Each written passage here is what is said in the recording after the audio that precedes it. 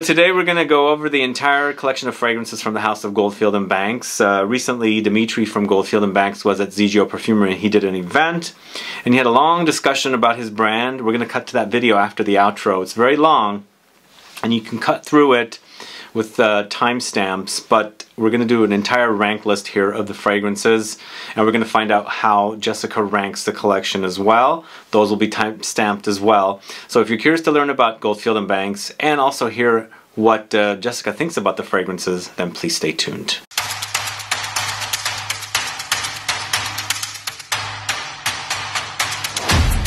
Thanks so much for tuning in. This is Sebastian. This is Jessica. How are you doing? Happy to be here. Yeah? Yeah. What do you think about Goldfield and Banks? Oh, I love it. I think it's a really cool line. Um, it's unique in that it's, you know, I think Australia's only fine fragrance house. Okay. I think, right? Am I right on that? Um, There's a few others. Okay. They're okay. smaller, but they're yeah, most predominant. Yeah, they're, they're um, making it out there. Yeah, so I think that it brings Australia to the forefront in a way that maybe we don't otherwise get in fragrance. And I love his use of materials.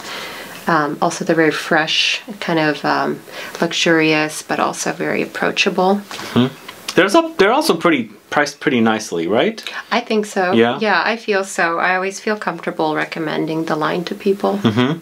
Yeah, and it's a good way. I I don't really have a desire to travel to Australia, so I think I feel like with these fragrances, maybe I will one day. I don't want to say never, but I feel like I'm traveling to Australia mm. with these fragrances because mm-hmm. they're using native ingredients. Not the entire fragrances are composed with native ingredients, but they'll have one or two or three in a fragrance, and it comes from a specific region. So I feel like we travel to uh, Australia with the fragrances rather than taking a, you know paying for a flight to go all the way to Australia because it's a long flight as well. Mm. From here in San Francisco, I think it's like 15 and a half, 16 hours. So yeah. we can just smell the fragrances and feel like we're in Australia. I feel like so. Yeah, well, I definitely want to go to Australia, so this is like my little pre-trip, I guess. Oh, okay. Yeah. Oh, yeah. Maybe one day you'll go. Maybe I'll go too. But maybe we'll, we'll we see. can go at the same time. Okay, we should. so let's go ahead and get started. I'm going to start off at number 11. Um, I like this brand a lot. In fact, there's a few fragrances that I really, really love from this brand, but unfortunately, I, I can't seem to like this particular fragrance. It just does not work for me. Uh, it's white sandalwood, and it features features notes of white sandalwood, thyme, amber, rose, peppers, and saffron, or pepper and saffron. So what do you think about white sandalwood? Well, from a sales standpoint, I, I feel like this is something I really enjoy showing to people. Okay. It's approachable, it's light, it's something that they can wear to work or like during the day running errands. People don't always want a really strong fragrance.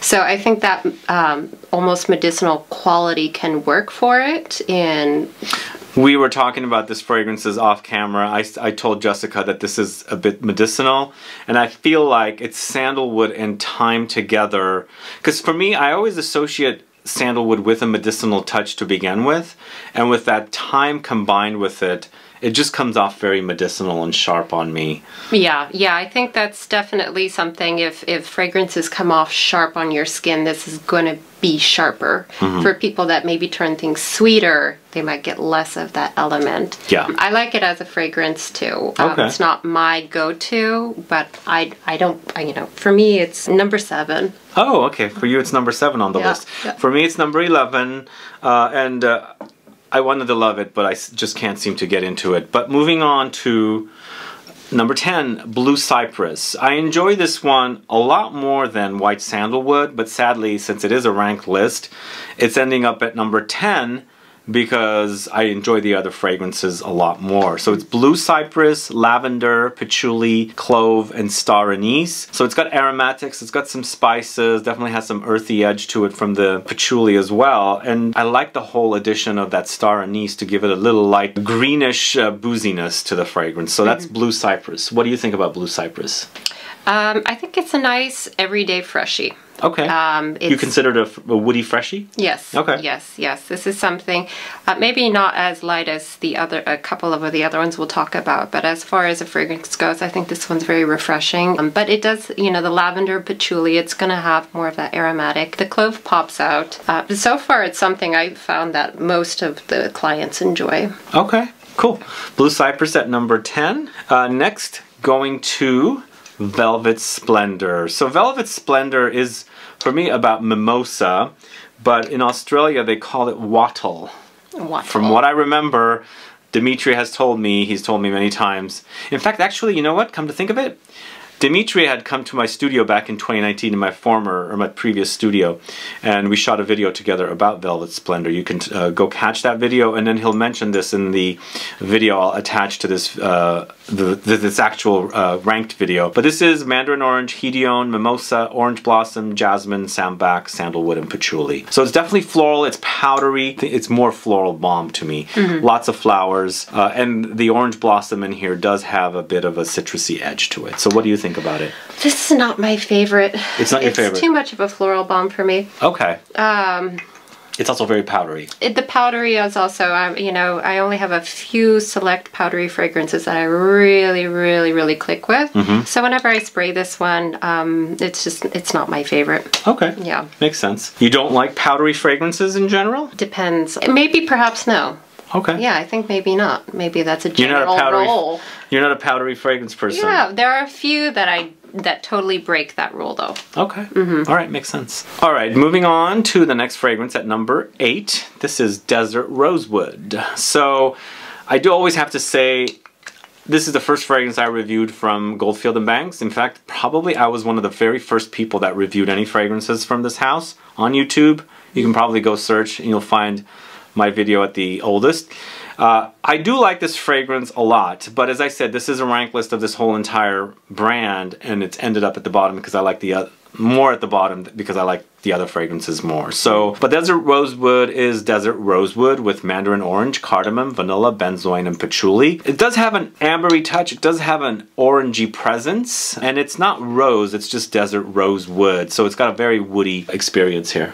Uh, what yeah. do you think about it? Yeah, it is woody, but it also has a nice. Um, it's it's it's a bit softer than that. I like one. I like the name a lot. It gives me a lot of imagination.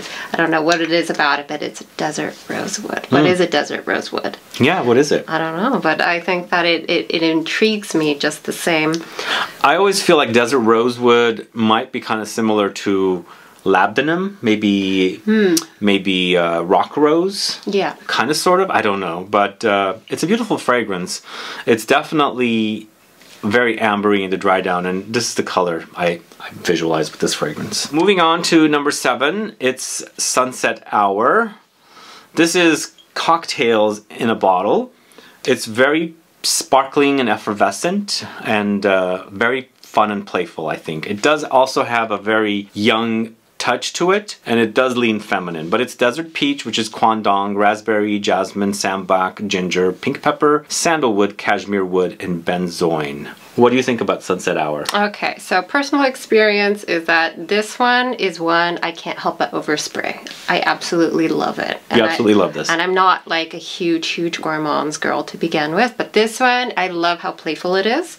But, um, and also it does lean more femme but I think it also comes out like peachy, buttery, leathery in some oh. many ways. And I found that have just as many men interested in this fragrance, if not more than women. I think I've sold this to more men than women. Interesting. So that's been my experience with it. I think it it's it uplifts me. It feels very comforting. It definitely feels playful and cocktaily, yes, but not in a syrupy sort of way. Mm-hmm. It is uplifting. I, yeah. I agree with that. It has that effervescent, it's sparkliness that kind of wakes up your senses. Mm-hmm. Um, and it just puts me in a like a vacation mode. Yeah, exactly. Yeah, having nice cocktails with this kind of like ocean breeze or sea breeze nearby that's hitting you. Really warm. But you're in a very swanky hotel bar, mm-hmm. and uh, you know there's these drapes that are like kind of blowing uh, against the door or something, or some window or something.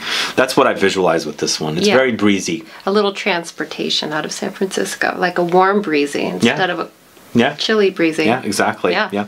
So Sunset Hour at number seven, and then um, at number six, it's Pacific Rock Moss, this one right here. And this is probably the fragrance that put this brand on the map, Pacific Rock Moss. Um, so it for me, there's no mention of beachy notes in this particular fragrance, but it has a beachy vibe to it, even though they have coastal moss, lemon, sage, geranium, and cedarwood. But for me, it acts like a beachy marine fragrance, which is quite pleasant. It's also not overwhelming. It's a bit subdued. It's more of a skin scent for me, mm -hmm. um, but I like the way it smells. Yeah, I agree. What do you think about it? I get a lot of the moss in this one. You do? But I think that that lemon and the sage kind of make it a bit more aromatic. Um, I didn't get too much geranium, to be honest. Cedar, yes, but I really get a lot of moss. Moss, uh-huh. But in a very it's mossy. in a very fresh way. Okay. Not in a deep moss. It's it's very like something you would imagine on on the beach wearing and mm. going for a walk it's fresh. Okay. No, it's a very pleasant fragrance. For me, it's very beachy, as I said. And also, I've mentioned this quite a bit. Uh, these two layered together, it's uh, Pacific Rock Moss and Sunset Hour. Oh man, it is a magical layering combination. Ooh. You've got to try it. Oh, I'm going to. It smells super fantastic. I'm absolutely obsessed with those two. And the fragrances are a bit on the light side, so you do have to overspray them, but the two together intensifies, mm -hmm. makes for a very uh, pleasant wearing experience where it puts you on a vacation, like an island uh, getaway. Uh, you've got the beachy experience, but you're also having cocktails on the beach. So you think that the Pacific Rock Moss makes the sunset hour maybe more like moderate in sweetness, perhaps? Yeah, it does. Mm -hmm. Yeah it complements one another. The sparkliness kind of maybe goes down a little bit. It's less sparkly because there's definitely a creamy creaminess with the Pacific Rock moss. I feel like it's like like a almost like suntan lotion creamy. Mm, yeah. mm-hmm. So the combination together is really beautiful. I really love it. I'm gonna have to try that. Okay. I'm excited. All right, moving on to the next fragrance at number five. It's Southern Bloom. So Southern Bloom is a floral bomb. It's a bit powdery and also a bit fruity as well. And I really like the way this one smells because I like this kind of fruitiness contrasted with lots of this floral touch. It, it features notes of boronia, and I believe that's the, the southern bloom they're referring to, boronia. But it also has jasmine, cassis, sandalwood, vetiver, ylang ylang, coconut, and iris. So the combination's a bit tropical, definitely fruity, and of course, very, very floral and powdery. So what do you think about southern bloom? Not my favorite. Okay. It's, it's not i don't know i don't have that same experience with it. Maybe it's the powdery. I think that the vetiver comes out and kind of overtakes. For me it's not one that resonates. Interesting. It's a good fragrance but i haven't felt like that's one that i've really like connect with, with. okay. Yeah. do you also get a bit of a fruity makeup vibe with this me check it um, comes off like a makeupy mm -hmm. smell. Is that from the iris? Do you think maybe that's the iris and the lang lang maybe combined? Maybe, yeah, maybe, yeah. Yeah. So number five, Southern Bloom. I really like it. Um, tastes are different. Yeah, it's true. so number four, though, it's Wood Infusion. Wood Infusion, I feel like, is a very easy to wear oud and orange combo.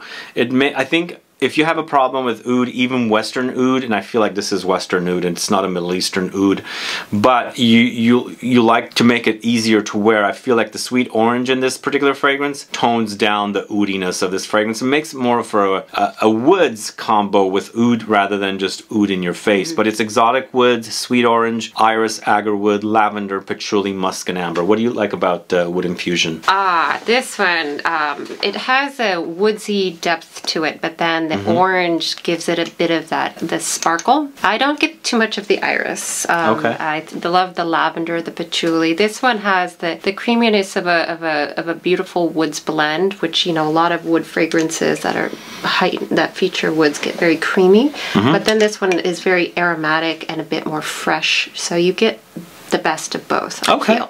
I, yeah. I, I can see yeah. this. Yeah. Totally. Yeah, and it really this one kind of surprises me. I felt like it would be one that you would feel like you smelled and you've you know you kind of would know it already. But I do feel like once you get it on the skin, it hits this nice middle note. Okay. Good. Mm -hmm. Yeah. Wood infusion at number four. At number three is Bohemian Lime. Such a beautiful, sparkling citrus fragrance. I really love it. It's perfect in the heat, but it features notes of Australian finger lime, coriander, Haitian vetiver, cedar wood, and sandalwood. For me, I feel like there's ginger in here, and I feel like it wears like you're wearing a Moscow Mule cocktail. So if you like the way that smells, it's very cool and ice cold here. That's the experience I get with this one. It's I, delicious. Yeah, I think that's about right. I think also too, just on the citruses, I do um, the the finger lime has such a unique scent. Like lime I, is my favorite of all the citruses, mm. and each citrus has such a unique scent to it that you don't really notice until you start smelling them in different fragrances. Okay. And I feel like this one just does lime, uh, you know, justice. It's justice. An, an ode to lime. Okay. Cool, but it is finger lime. You do know that, right? Yeah, it's not like a regular lime. It's that funky looking. lime I know. I have a finger lime. Caviar my, lime at home right now on my kitchen table. Oh. Yeah. Yeah, I do love lime. Sometimes for my salad dressings, I use lime juice instead of lemon juice. Ooh, yeah, it's, it's softer. Yeah, it is. Softer. Totally, it's not mm -hmm. as tart. Moving on to number two, it's purple suede. I had to put purple suede here because I think it's a nicely done suede leather. It's buttery, but it's got lots of aromatics in it as well. So the notes are leather, wood leather, lavender, cardamom, raspberry, amber extreme, pink pepper, and patchouli. If you like the idea of leathers, this is definitely a great scent. It's definitely a little different than something like Tuscan leather, even though it'll remind you of Tuscan leather. The aromatics of lavender really shines, and I've mentioned in my review that it reminds me of wearing leather walking through the herb markets in the south of France because lavender just really kind of is cranked up in here. But there is mm-hmm. definitely a fruitiness. But what do you think about this? Um, I, I'm really excited about this one. I think that it's, uh, they launched it as a summer lavender suede. Um, uh, and I think that this is going to be a beautiful winter fragrance uh-huh, because so. it's so rich and sumptuous. That mm-hmm. lavender is very deep and creamy. It's not what you expect either from all of those mm-hmm. notes. Yeah. And um, I think it's f- unique. I don't think there's many other fragrances that smell quite like this. Okay. It's, you know, maybe more Yeah, I think I think it's a really unique fragrance. Okay. And I'm excited about showing this one to people and wearing it myself. Yeah. Do you think it was launched at a time when people would not be wearing fragrances like this because launched in the summer summertime because it was just at the beginning of summer. It hadn't even turned summer when this launched. It was June 1st when it launched, I remember. Yes. Because I reviewed it just on the day it launched. Yes. But I think now that we're getting into winter, people will be more into gravitating yeah. towards fragrances like this. When it was launched, my first impression was this is going to make an amazing winter fragrance. Okay. Mm-hmm. cool. Yeah, I agree. All right. Purple. Purple. Purple. Purple suede at number two. And you guessed it, if you know this brand and you know my taste, uh, Silky Woods is at number one. It's Tahitian vanilla with agarwood or oud with cinnamon, tobacco leaves, ylang ylang, sandalwood, and incense for a super delicious vanilla bomb with the kind of tobacco-ish touches which are light. The, the agar wood is also kind of light. For me, it's mostly a very spicy vanilla. Mm. A bit syrupy, a bit dry together, but definitely powdery. Light smoke runs throughout it as well from incense. What do you get from this?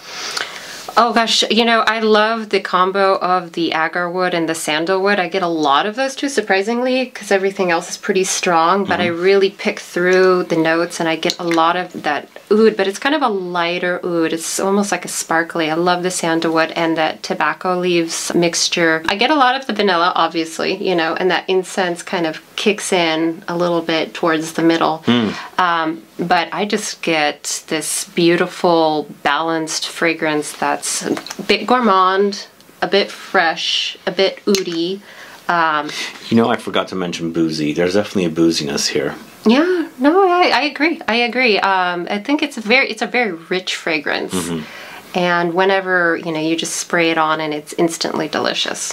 Very much so. Anyway, Sil- Silky Woods deserves the number one spot, but what we're gonna do now is find out how. Jessica would rank this list, now that you know my ranked list. So I put White Sandalwood at 11. What would you put at 11? Southern Bloom. Okay, so you really don't care for Southern Bloom. I can't say it's caught on to me quite yet. Okay. But I'll give it some time. Yeah. So at number 10, I put Blue Cypress. What did you put at number 10? Velvet Splendour. Okay. We're kind of close here. Because I put Velvet Splendour at number nine. Okay. And what did you put at number nine? Blue Cypress. okay. That's good. So we reversed it. Yeah, yeah. That's good. All right. Now that we got those out of the way, well, I put at number eight Desert Rosewood. Hmm. Pacific Rock Moss. Oh, okay. Mm-hmm. All right. At uh, number, wait, so Desert Rosewood, and I put um, at number seven, Sunset Hour. Ah. Wait, wait. Yeah, that's Yeah, yeah. Sunset Hour at uh, number seven, and what did you put at number seven? White Sandalwood. Okay. Well, Yeah. you really like that one more than uh, I do. I guess. Yeah. No, I do like it more than you. Okay. Yeah. Yeah. Okay. All right. But you, you know, you like Southern Bloom more than I do. So Mm-hmm. Yeah. that works. Strange. Yeah. Um, and then at number six, I put Pacific Rock Moss. Mm. What did you put at number six? Desert Rosewood. Okay. We're kind of close in the ballpark. Sort of, kind of, sort of. It's like a little bit, but different. Yeah, a little bit dif- different. Okay, so at number five, I put Southern Bloom. Um. Oh, I have purple suede. Okay.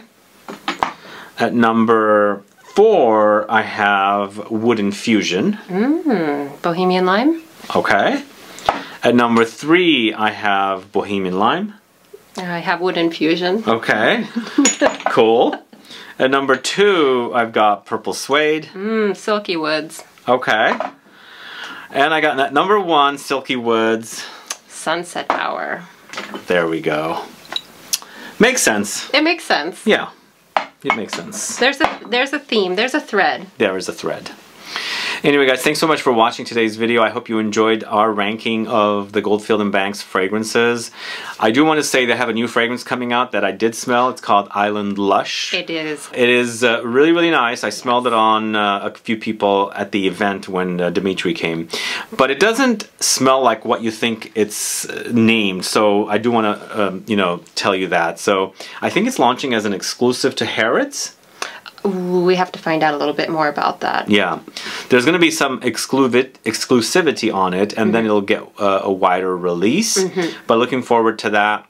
I've also smelled something else from the brand, and I'm looking forward to that as well. Um, some good stuff is coming out. But either way, thanks so much for watching today. Thanks so much for coming here to do Thank this video. Jessica. If you guys have any questions or comments, please list below. Do want to let you know that there is a discount code for ZGO Perfumery. Uh, you can take advantage of it. It's 15% off of uh, most fragrances from the store. There are a few exclusions, but it definitely works on Goldfield and Banks. Anyway, guys, thanks so much for tuning in. Please like this video. Please share it. Follow me on Instagram and Facebook. And I'll be back with more videos very soon. Have a good one. Goodbye. Bye. Don't forget Dimitri after the outro. Oh yeah, that's a good one. okay. Bye-bye. Bye.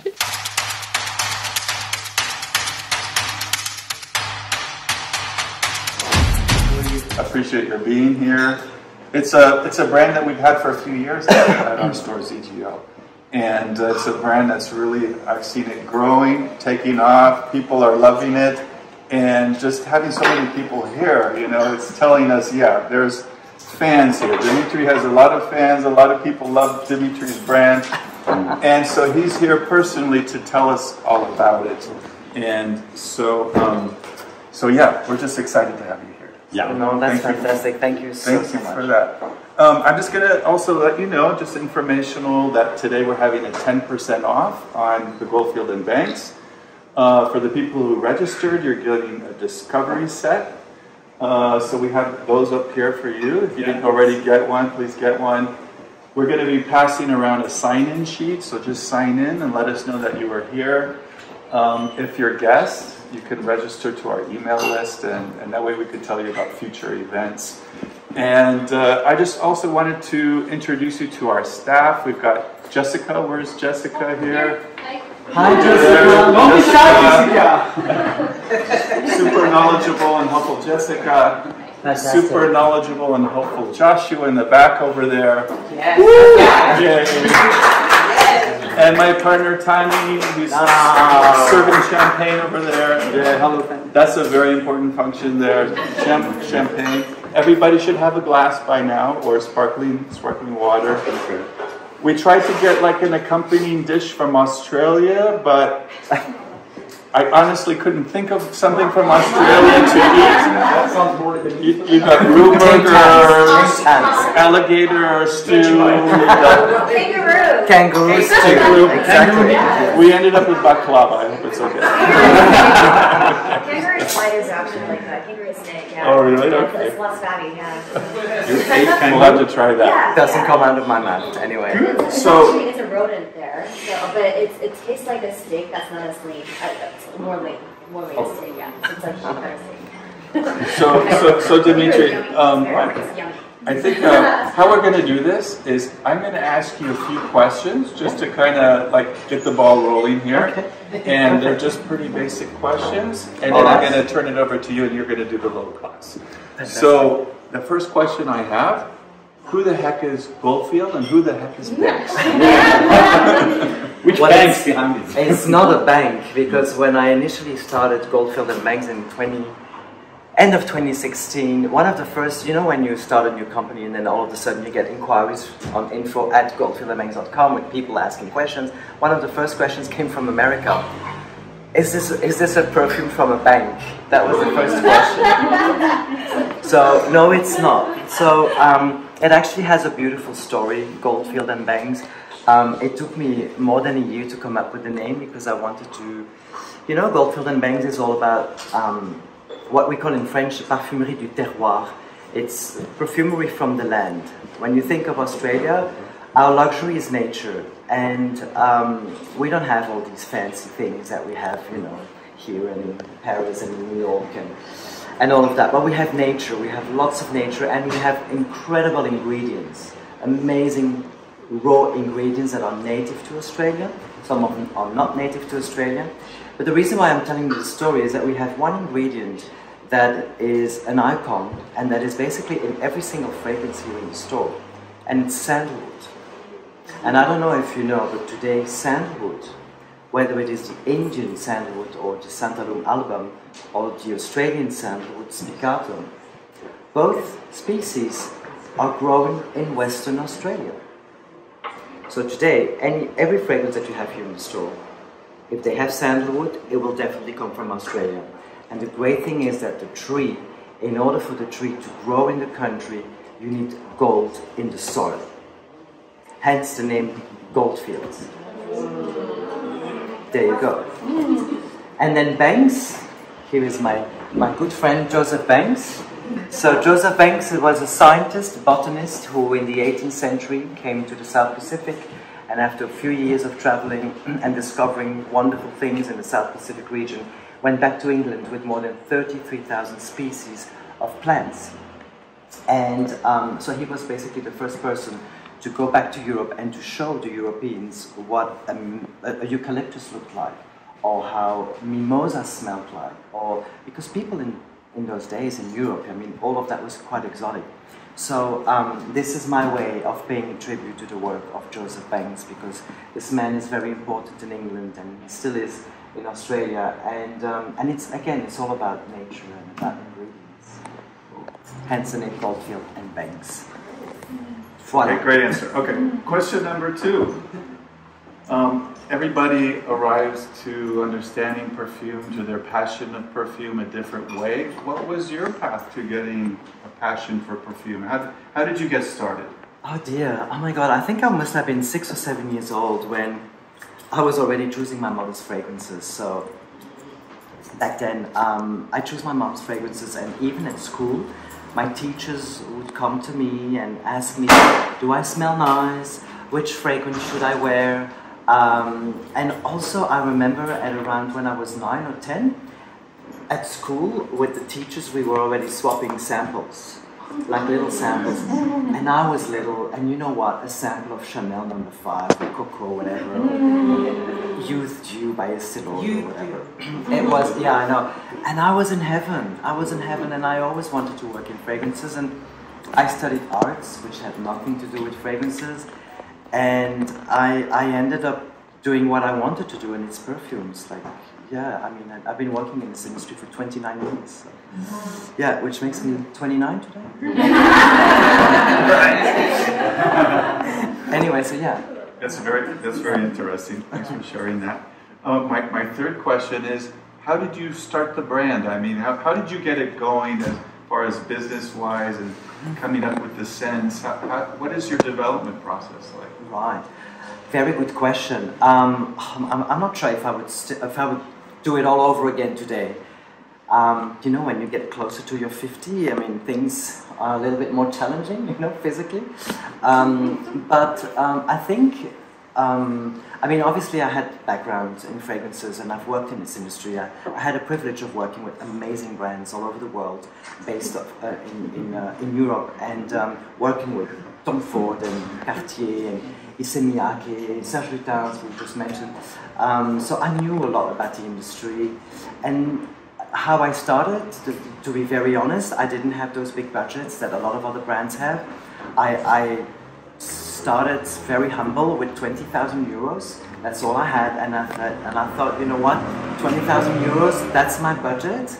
Um, because I didn't want to put all my eggs in one basket. I mean, moving to the other side of the world, it's a big risk, going to Australia and all that. So I had 20,000 euros and I thought, okay, this will have to, this is my budget and I'm going to start with that. And if it works with $20,000, and if after one year I can pay myself a wage, then I'm, I'm doing a good job and, and that's what I did. So that's how I actually started. So I, I really literally worked on my own for the first three years, and you remember that very well, um, until the brand was growing so fast. Um, but, but yeah, I mean, one of the things that I did is uh, I was very fortunate in, in Australia to be surrounded by French people.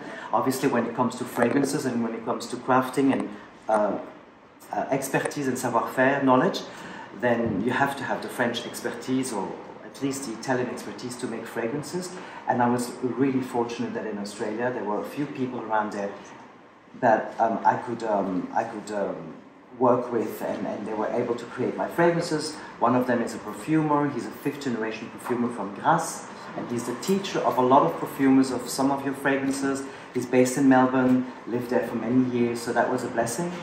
Um, and then little by little, um, just, yeah, I mean, traveling a lot, making contacts with suppliers and, and uh, farmers because I was very much into Australian native ingredients because that's what we do, Australian ingredients, um, and getting their trust because a lot of people were looking at me thinking, what's this guy doing? What does he want? You know, um, and yeah, so so little by little creating the first fragrances, and then started in Australia, started online, a few stores and then one of my first stores back then was Barney's overseas. So, and then, and then, yeah. From there. We go from there. So, and, and now you're all over the world. Not all over the world, but we are in 40 countries. 40 countries, that's a good part of the world. 40 countries. Okay. Um, is there anything you could see as far as trends, like people in Asia, like one particular scent ah. versus people in Europe versus America? Well, there's one trend that I can see is obviously for perfume or fragrances is, is very personal. I mean, what I like, you might not like, and there's, there's not a place to judge in a perfumery because it's very, I mean, it's very personal. However, what I found in, in the perfume industry, working in this field for so many years, is that it's probably the least diverse industry. Um, when you think about fashion, you have fashion brands from all over the world. Every single country has fashion.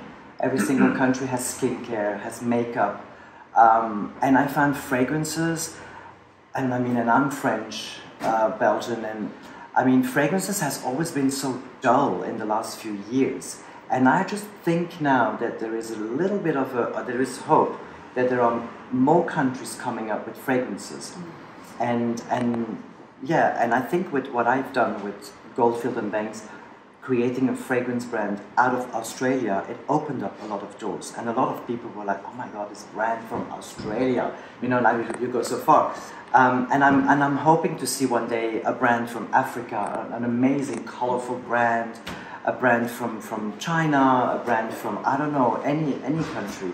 And I feel that today customers in general and media is more open to embrace a more diverse perfumery that's sort of the trend that I can see. That's really exciting. Okay, well, thanks for putting Australia in the perfume map. So with, with, that, I'm going to turn it over to you for the masterclass portion of the event. Okay. All right, all right. Do, can, can you come closer because I see there's a lot of faces that I would like to see, but I can't see everyone, and I like to have a bit of a. View. There's some chairs here, by the way. Yeah, of course.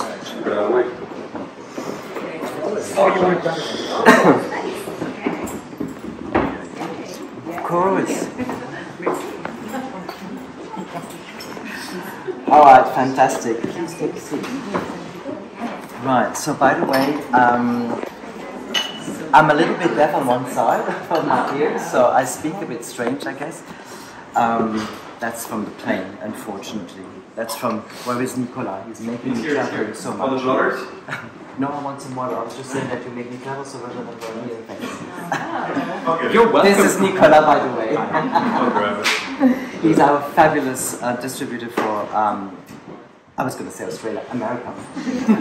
so anyway, so actually, um, with uh, Claude, you have already a little bit of, of the, the background of, uh, of Goldfield and Banks. Um, oh my God, where do I start? There's so much to tell. So anyway, so I think what I, what I mentioned is Australian natives. Um, the reason why I created Goldfield and Banks, and this is probably a question that Claude didn't ask, but it's the most important one, is why did you create an Australian fragrance brand? And you know what, I'm going to be very honest with you. Merci. I did not want to create a fragrance brand. I mean, I had a fabulous life working for all these amazing brands. I traveled in the best conditions, business class, first class. Now I travel in economy. Um, so I had, a, I had an amazing life. I mean, I, I've been so many experiences and so many things in this industry, in this fabulous industry.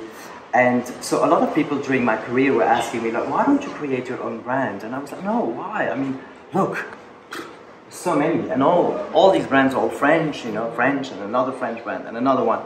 So why would I create a French brand? But when I went to Australia, one of my um, brands that I was working with, they sent me to Sydney to host a press conference for the launch of a new perfume, and I was very excited to go to Australia. And one of the first things I did was to run into a department store and to ask one of the beauty advisors to show me some Australian perfumes or brands. The only brand that I could think of was Aesop or Jurlique Skincare. And that girl told me that day, she said, you know what, we don't have perfumes in Australia. And I'm like, what do you mean? You have all these ingredients, you know, you have finger lime, you have blue cypress, and you have desert peach, and you have lavender, you know, native local lavender you have mosses, you have wattle, you have the most amazing ingredients. So it's impossible that that country doesn't have any fragrances. And um, and that's the that that was the moment when I actually started thinking about maybe I should do something about that because that would be a gap in the market and at least it would be something unique. It's not another French brand, but that would be the first Australian fragrance brand featuring and using Australian native ingredients. So that is um, that's when it all started. And that is next year. It's going to be ten years.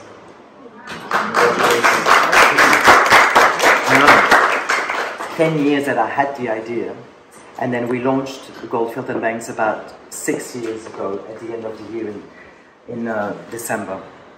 So, um, and then of course, I mean, those Australian natives, I was, I started looking up um, what, what varieties we have and, and um, of course I, I work with a company that produces a lot of skincare for Aesop and a lot of their ingredients, a lot of their essential oils. I have access to a lot of farmers and suppliers that have their, their oils.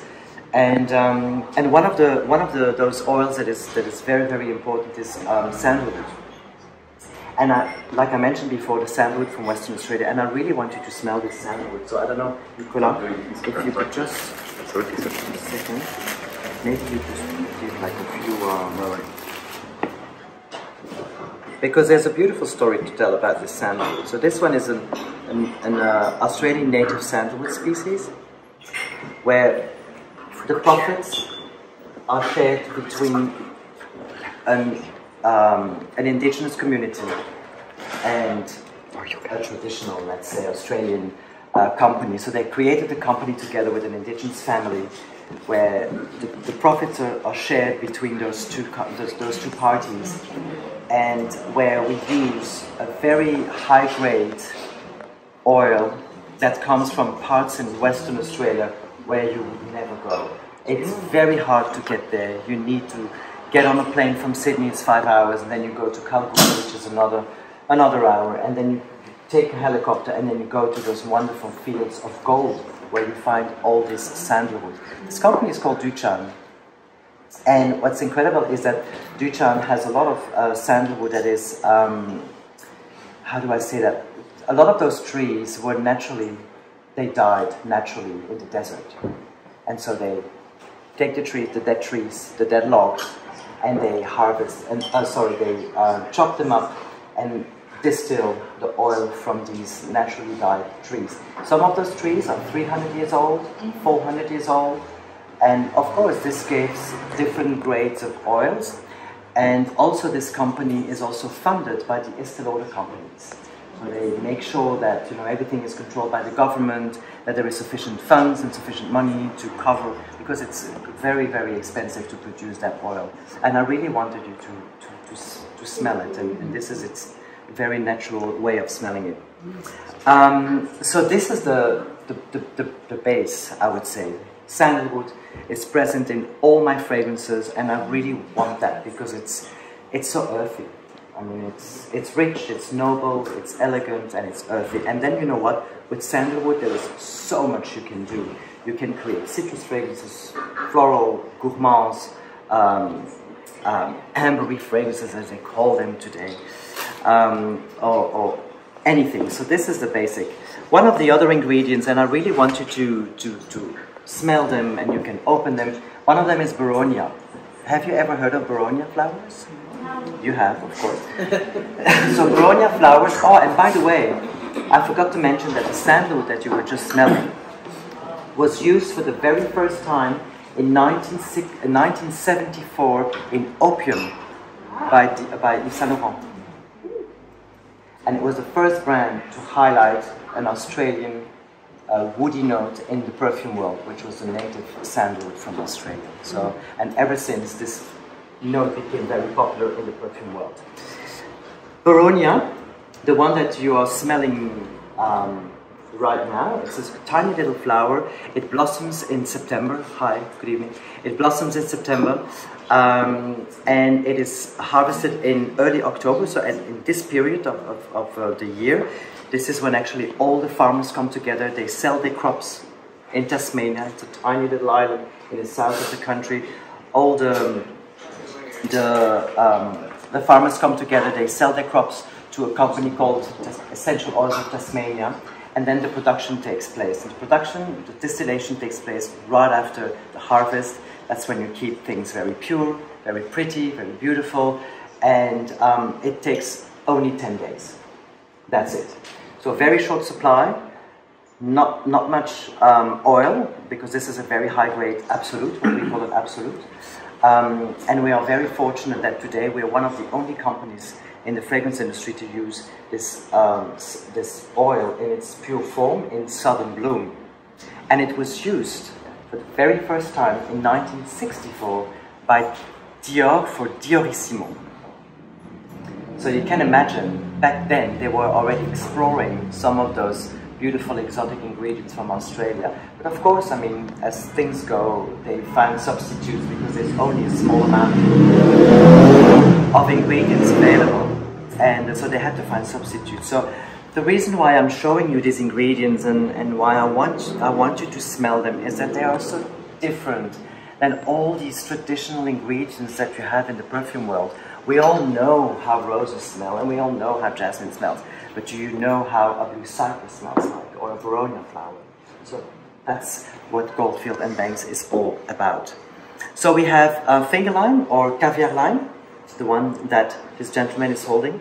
Um, have you ever heard of it? Lime? Yeah. Okay. Recently. When you actually can, when you when you find it in a, in a, in a, a deli store, it's perfect to use in a gin and tonic. So you cut them in half, and those little pearls You add them into a gin and tonic, it is absolutely beautiful. It's a, bit, it's a bit acidic, exactly. Uh, it's salty, a bit um, zingy, like Sebastian always says, zingy. Um, and citrusy, of course. So, and it was used in Bohemian lime. So we have two collections in Goldfield and Banks. We have one collection called the Native Collection. All the fragrances are in transparent bottles and they all express different parts of the country from the ocean to um, the, the Quandong shrubs to the desert and we have the mangroves and then we have, you know, we have a lot of elements in Australia, a lot of colors. It's a very colorful country. So this, this collection has nine perfumes, four fragrances, I would say three fragrances that really represent our coastal life, which is Sunset Hour, and I think a lot of you know Sunset Hour. Um, Pacific Rock Moss, I'm not sure if you know Pacific Rock Moss. You know now. And Bohemian Lime. So those three fragrances are part of what we call coast to coast fragrances. They are best-selling fragrances um, worldwide, and the reason why I'm saying this is not that I'm particularly proud of that, but it's just that these fragrances make so many people dream. If you cannot go to Australia, have one of those fragrances and you make sure that you, you, you, you are in Australia. You smell, you can actually smell one of our beaches. You can smell um, some of our beautiful rainforests in, in the region of Byron Bay. And if you want something more tropical, well, then you go for Sunset Hour. So, and this is again something that is another trend in perfumes, Claude, is that today I think we have to go back to emotions. Fragrances has been too too abstract, and I think perfumery is emotions. You know, fragrances is it links us to our past, and and you want to create unforgettable moments with your fragrances. Like when I travel somewhere, I actually choose a fragrance and I want to make this fragrance, I, I, want to link this fragrance to that particular trip. And during the pandemic for two years, it was incredible to read the comments of our beautiful customers all over the world saying, well, look, I'm in Singapore and I'm, I can not travel to Australia, but with your fragrance, I'm here in spirits and I'm there in spirits and, and all of that. And it's all about traveling and it's all about emotions. So, three fragrances coast to coast. Then we have fragrances that are slightly more woody, like um, uh, wood infusion and desert rosewood. Desert rosewood is my personal favorite. If, if, I know sometimes you, you ask me for which one is my favorite. Um, I love all my fragrances, but desert rosewood has a very special place in my heart because it is a fragrance that um, every time we make this fragrance, every time we make the, the batch of the, the formula, um, it is always a, a very uh, exciting moment, but at the same time a stress stress moment because we have an ingredient called Buddhawood oil. I don't know if you've ever heard of Buddhawood oil. It's available here, so feel free after that. You can smell it. Buddhawood oil is, is another native to Australia. It's a wood species, very powdery.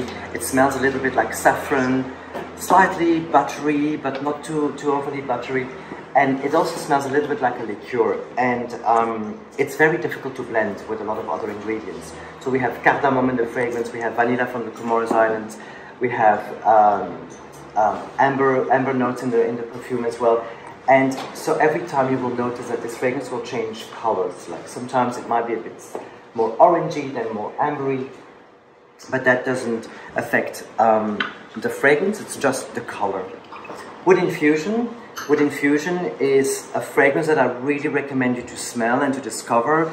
It is um, a fragrance that I, I really, really wanted to, to, to create this perfume with a perfumer called Hamid Merati Kashani. Maybe you've heard of him. He is a, a, an amazing perfumer that I've known for many years. He's been working, you know him of course, um, he's been working with many different other perfume houses and he's a master in woody fragrances in woody notes. And it was my dream to work with, with him, and uh, I contacted him many, many years ago. And he said, Yes, I, I take on the challenge of creating this, this perfume for you after I spent some time on an island called Fraser Island. Have you been to Australia, by the way? Do you know? Has anyone been to Australia? You've been? Okay. Have you heard of Fraser Island? Yeah. So Fraser Island is the biggest sand island in the world. Um, there is a beach that is 60 kilometers long. I don't know in miles how much that would be, but 60 kilometers is, is it's a long, long beach. Um, anyway, it's an amazing, huge, long island um, where unfortunately you can't really jump in the ocean, although you want to, but it's infested with sharks. um, but it is so, so hot and humid on that island that even the trunks of the trees, you feel that they are perspiring. Like they, you have the feeling that the trees are literally almost like moist because of the heat. And it's the fragrance of the eucalypt and of um, a, a, tree called blood trees that really inspired me to create this perfume. So I gathered some sandalwood and I gathered some eucalyptus and sent it to uh, Hamid many years ago and then we met in Dubai and I think you were there as well in Dubai in 2018 um, and that's how we created started creating this perfume so I really encourage you to try wood infusion um, Velvet Splendour and Southern Bloom with Boronia Velvet Splendour is based on uh, wattle do you say wattle here or do you say mimosa? Mimosa. Mimosa. Did you know that mimosa is native to Australia? It's from the south of France. oh, Nicolas. Well, I, I challenge you. so, um, it is it is a native to Australia, and it was imported in uh, Europe and in the US in the 19th century. You go. So we have about 300 species of uh, wattle in Australia, and by the way, the Queen of England, if you're interested in that, one once um, during one of her visits in Australia, she had this beautiful blue gown, um, completely garmented with um, mimosa. Fabulous. It's a symbol of Australia. And this is a fragrance, this is a note, uh, flower or blossom, I should say, that you actually find in Velvet Splendour. Very bold perfume with Opopanax, Tonka bean, Patchouli, and Vetiver. Then we have a very tiny small collection that I recently created called the Botanical Series. The Botanical Series are, um, the fragrances are in a golden bottle, so there is a third fragrance coming up very shortly. Um, and this is, um, the reason why I created this collection is it's actually a beautiful story and I, I really love to tell this story because it's a story of friendship and sometimes life takes you on a journey and you don't know what to expect and then all of a sudden things happen and, and the magic happens.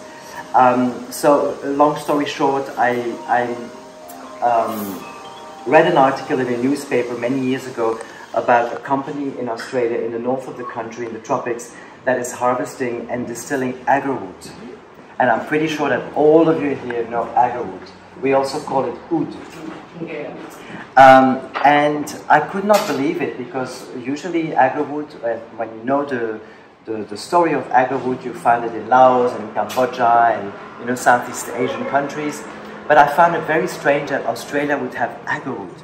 And so I picked up the phone and I called the company and, uh, and these people were very, very sweet and they said, look Dimitri, we would like to invite you to come to our farm in, um, in the tropics in the north and we really would like you to, to discover, you know, how we induce the trees, because there is a whole process.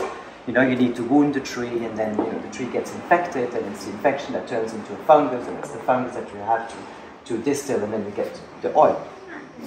Anyway, so Nicolas, Nicolas, um, and so stop flirting.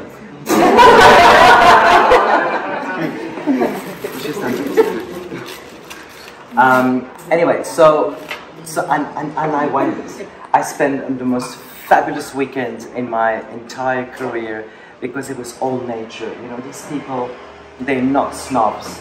They are just simple people passionate about what they do, and it's wood. They have a lot of sandalwood in Western Australia, and now they're doing agarwood. And we spent we spent the most amazing time uh, learning everything about distilling oud oil. And I'm very happy to announce that today in, in, in our fragrances we have this oil. Maybe just put it somewhere. somewhere here. And um, it is the most organic agarwood on the planet. So there is no child labor involved because usually what happens with oud in certain countries is that a lot of children, you know, they, they, they are easy little little creatures that they use for, for, the, for this industry, which is awful. So in Australia, everything is pretty much controlled by the government. And um, so when I, when I discovered this oil, I thought, oh my god, this is so pure and so beautiful and you know everything. So I wanted to use it in my fragrances, but I had an issue, is that my fragrances was all about native ingredients, and this oil is, or the tree is not native to Australia.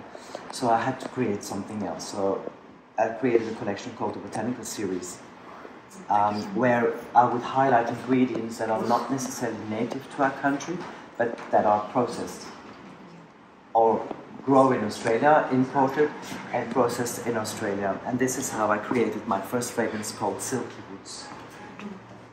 So Silky Woods is um, it's our second best-selling fragrance worldwide. Um, it is blended with the most defined vanilla from Tahiti, um, with tobacco leaves, if you, if you like tobacco leaves, uh, vanilla, uh, sorry, ylang ylang, um, saffron, if you're into saffron, and then um, and then a, a, second fragrance that we recently launched is Purple Suede, and I love Purple Suede. I'm obsessed with it. Um, so yes. It's so beautiful. Purple Suede is the one that is based on lavender from Tasmania, another one, not native to the country, but it was brought into Australia more than 100 years ago. And today, Tasmania produces the most organic uh, lavender in the world. I mean, when you think of the fact that some places in Tasmania have no pollution in the soil and in the air and in the ocean, that says a lot. And it's the DNA of the of the, the lavender is exactly the same as what we call in French lavande du pays, the French lavender from Provence, but it's grown in Australia and it's a lot more pure. I can tell you it's absolutely pure. So I'm gonna pass on some more. Yeah. So did you smell the agarwood? Yeah, I'm doing some more for the ones who who didn't have a chance to. The young lady here. Sorry. Oh, pardon me. What's the third one based on? The third one, oh my god, now you're asking. Um, the third one is based on an ingredient that we don't really know much in, in, in the perfume world. It's there, but it has never really been ex explored, and it's um, a, a, sandalwood from the South Pacific. It's called Austrocaledonicum sandalwood. It, it grows in New Caledonia uh, or Vanuatu. Um, it's very rare, very rare, but so tropical, very lush, very, very uh, intense. So yeah, another one, it's not native to Australia, but it's processed in Western Australia. With the same company, by the way, that owned uh, the agarwood. And is it also going to be a woody one, or is it going to be a yes. less tropical? So it's a woody, woody vetiver um, spices. No flowers. Nothing. Flowers. Yeah very intense. I can promise you that. um, so yeah, so that's basically in a nutshell Goldfield and Banks. Voila.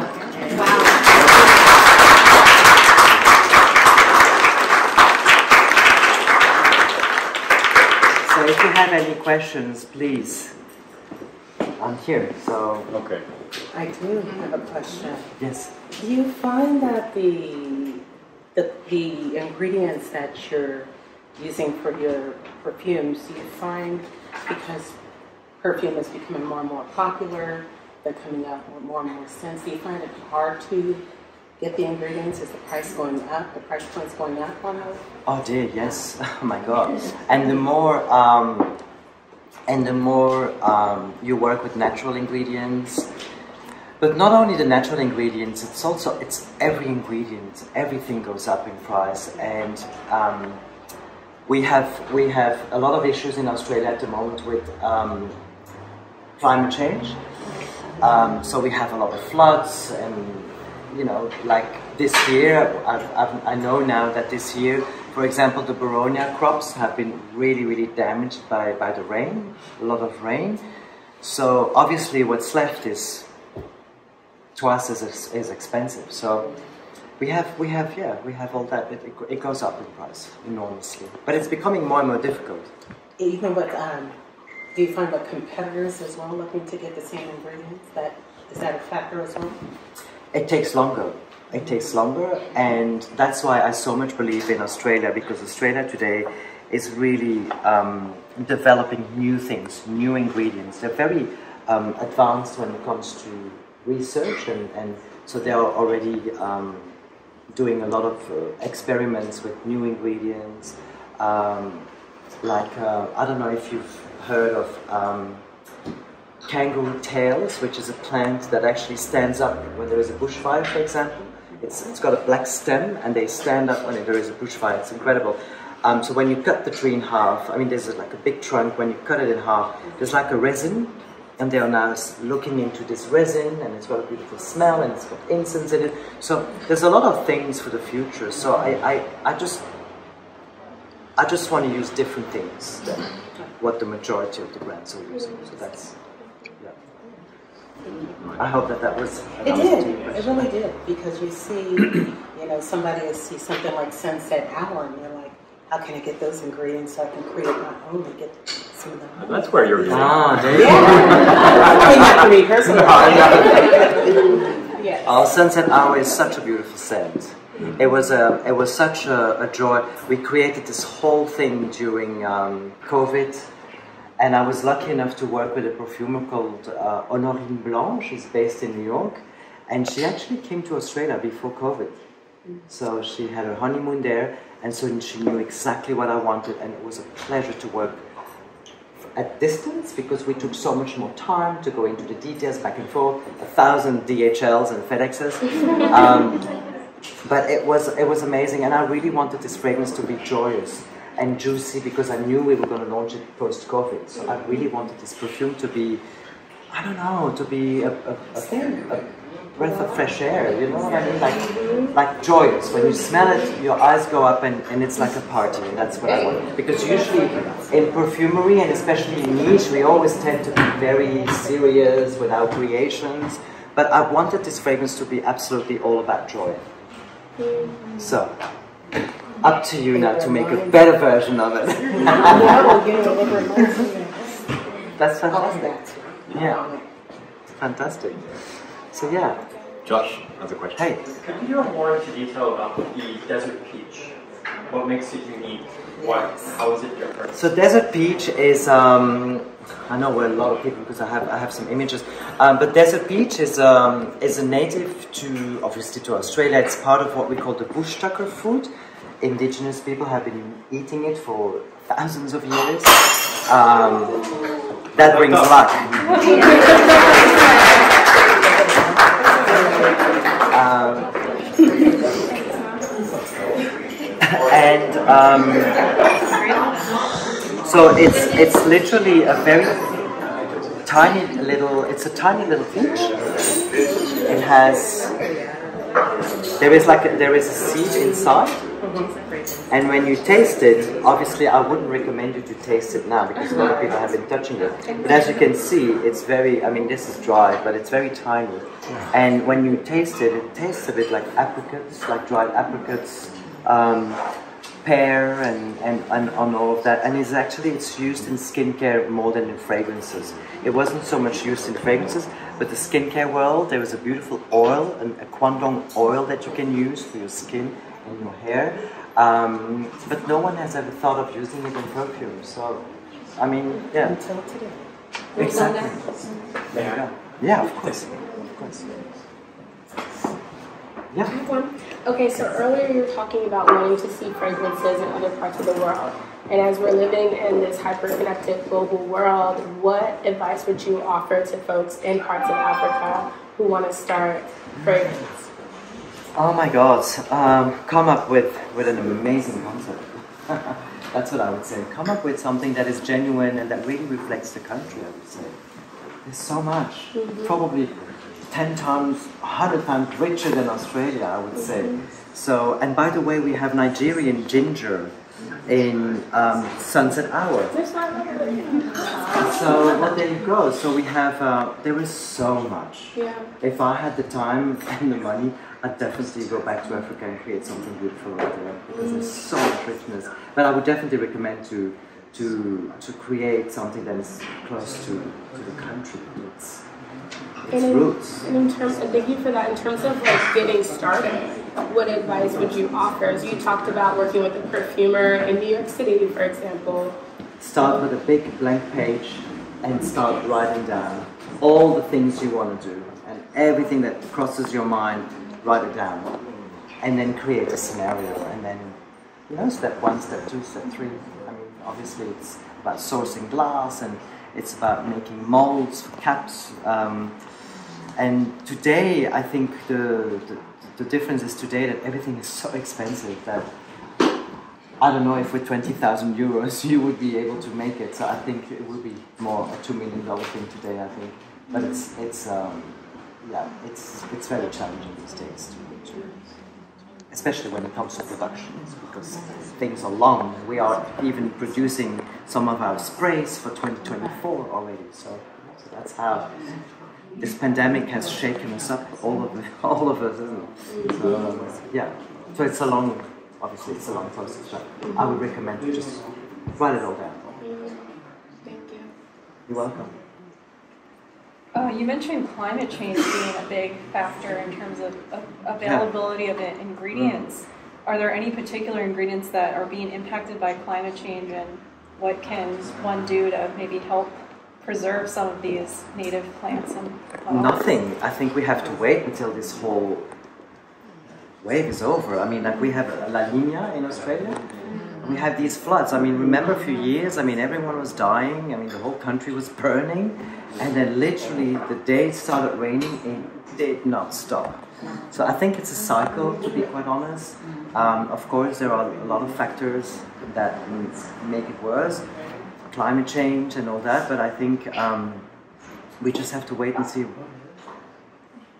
what, how it will end up. I mean, I, I, I, have, I have no crystal ball, so I don't know, but I think it's just a matter of um, I think we all experienced during COVID that less driving was great, no airplanes, the, you know, the, the air was cleaner. Um, and I think that first year, that, that first year was actually a beautiful year because it was quiet and the weather was quieter as well that first year. I don't know here in San Francisco, but I found we had very quiet weather and then it started really raining so um, but yeah I mean I think if we all contribute a little bit then that's it. Says me flying so much. contribute. However, I contribute with my perfumes. We don't use any plastic and our cellophane wrapping is biodegradable. How good is that? Wow. Intentionality. Yeah. Mm-hmm. So was that an answer to your question? Yeah? Fantastic. Thank you. Hey. You spoke of the role of botanists in the, in the name of the, of the house, but what is the continuing role of botanists? Do you have any Banks-like characters you work with today? Uh, Joseph Banks? Yes. Yeah. No, unfortunately not. I had the privilege actually in um, in Florence. There is a house um, on the river. Across the river, we have a client in Florence, and they live in this beautiful building where Joseph Banks actually lived for a while in Florence. So have to go there next time we go to Florence. Um, but um, yeah, no, at the moment, no, I just keep him in mind and, and, and that's about it. I've, I've, we've been looking for some relatives and for some descendants, but there's nothing much left, unfortunately. But, but you work with other botanists today to rediscover these new ingredients? Yeah, oh, yes, all the time. All the time. And we have a lot of suppliers in Australia and Western Australia that actually naturally contact us to offer us new things um, we have, I recently discovered an ingredient called Fragonia. If you Google it, it's not known. It's, it's not in America, but it's called Fragonia. Um, and it's, it's amazing. I, I get these things uh, sent to me, and, and that gives me ideas. I mean, it's untapped. We've got so much. We have native um, figs, we have, um, yeah, anything you can think of. I mean, the tropics are so rich and full in abundance of seeds and and and yeah, fruits and pods and and, and mushrooms, whatever.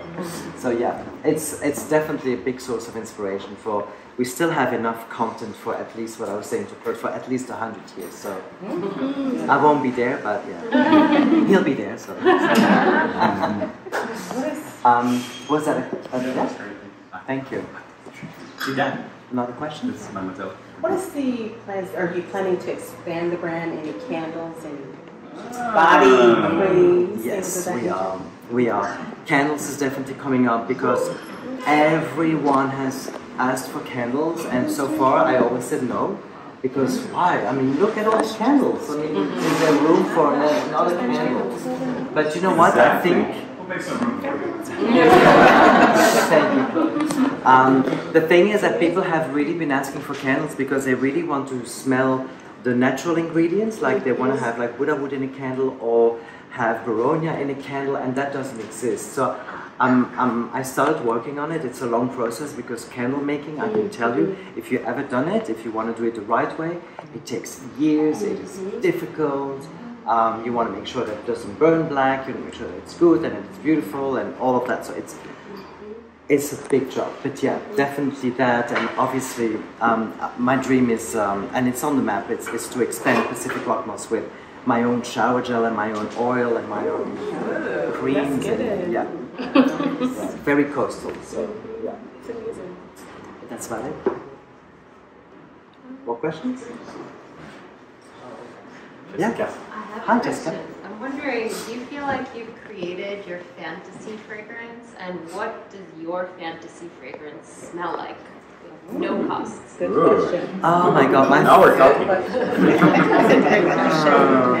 I think um, my next fragrance that is coming up next year in spring is probably the closest to my fantasy fragrance. We have we have a property in the tropics, all the way up north, very rugged and very remote, and it's it, the markets you haven't seen anything like it. We have the most divine fruits and everything is so in abundance, like I was mentioning just before, and. Um, and my, my yes, and the whole region has pretty much inspired me to create a fragrance that um, that I wanted in the collection for a very long time. Um, what else can I say? It's very tricky. Um, and and and um, I'm actually giving a fragrance this time. I'm giving a fragrance to something that doesn't exist, to a plant that that is one of the most beautiful plants on the planet, but doesn't give a scent. So that's my tribute to that plant. That's it. It. Yeah. Yeah. So that was actually a very good question because I was. It was um. It was something that I wanted to do for so long. Yeah. Yeah. And do you think, are you going to creatively recreate what you feel product smells like? Or are you going to use headspace technology? So we have headspace, headspace technology, and we have one ingredient that is um, coming from very close to where we have our house, and it's called a red back ginger. So it's a native, um, and it's a little bit more. Hmm, uh, how do I say that? Um, I'm not going to use the word zingy because otherwise Sebastian is going to say zingy. but it's a quite it's quite a unique ingredient from that area. Um, and then other than that, we'll use a lot of things from the from the region. Yeah, beautiful. Um, I can't say much, but it's yeah, it's the kind of fragrance that in the summer it's yeah. I think you probably are gonna love it a lot. But anyway, it's very it's very personal. Once once again, I mean, you might not like it, but Yeah. Well, thank you. you're welcome. Thank you. Okay.